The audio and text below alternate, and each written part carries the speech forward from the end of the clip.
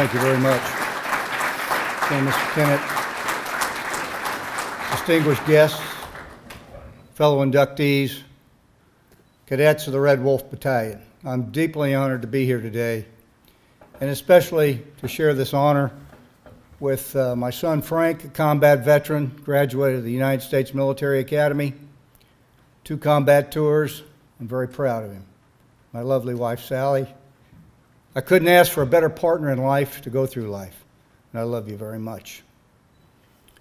When Jenny called me, she said, Well, General, we finally got a hold of you. If you can get in your greens, you can wear them here. I, Jenny, I only had to take in the greens a couple inches, but I made, I made it here.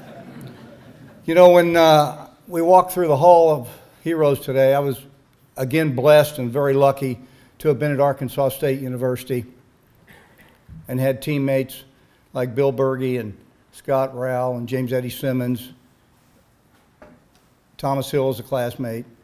And also, I thought about the instructors I had here. They were very, very kind to a young cadet, Toney, who made a lot of mistakes. Two of them are on the wall Fred Turner, Lieutenant Colonel Fred Turner, uh, Preston Williams.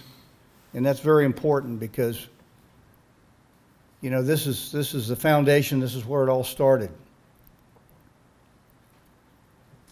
So I would tell the cadets, you know, as you move out in your military career, whatever it is, two years, 10 years, 20 years, 30 years, don't forget your history because the Red Wolf Battalion is a great history.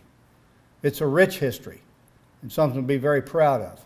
So as you move forward, don't forget the Red Wolf Battalion where you've come from because the instructors you've got are outstanding and you'll always remember them.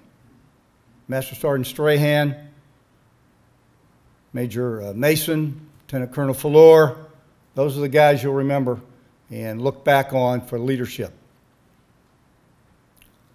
Again, I'm blessed. Thank you very much. And let's all go and howl tonight for a victory over the Raging Cajuns. Cool.